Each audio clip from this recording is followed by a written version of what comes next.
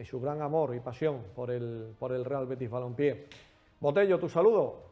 Sí, bueno, me, sumo por supuesto a tu afectuoso recuerdo, igual que muchos compañeros en redes sociales. Eh, yo por mi parte voy a saludar a, una familia que nos ve muchísimo, Carlos, su mujer Fran, su hija Alejandra, eh, tres béticos que siempre están eh, pendientes del informe Botello, pendientes del programa, que disfrutan con nosotros, así que un beso muy grande a los tres. Pierluigi Cherubini.